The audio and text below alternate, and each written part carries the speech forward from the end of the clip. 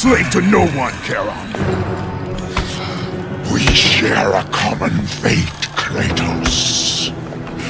The gods will release neither of us from our torture. Be gone! It is not yet your time, mortal.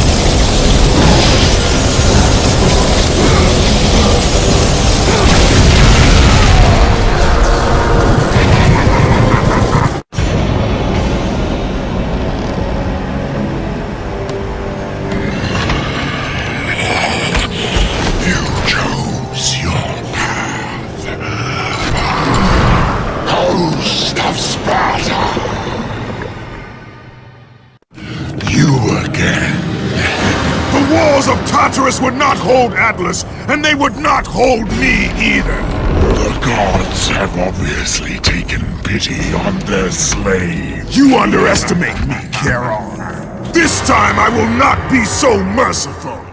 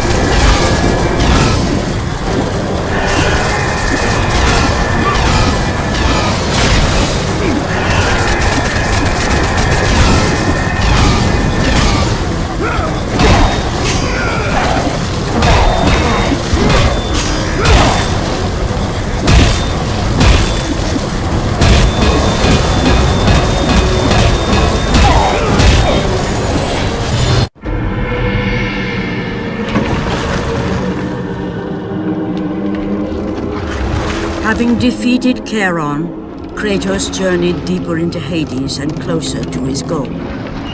For in the distance, the bright light of Helios illuminated all of the underworld.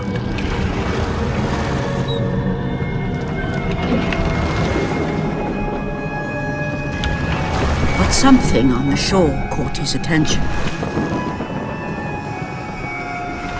And to Kratos, it almost seemed an apparition. Calliope! Upon seeing his daughter, Kratos realized that all that he had been working for, all that he had wanted, was within reach. Years of service to the gods had not delivered him from his pain, never had it eased the burden of his past. And now, Calliope was found. Calliope!